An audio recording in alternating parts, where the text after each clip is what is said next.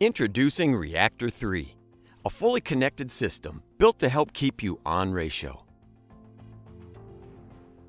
With core electric transfer pumps and accelerator independent heated hose, your Reactor Elite now has the intelligence to see what is happening and make corrections from drum to gun.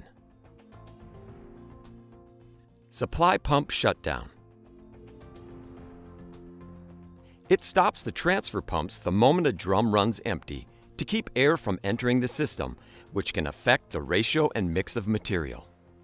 Smart Supply.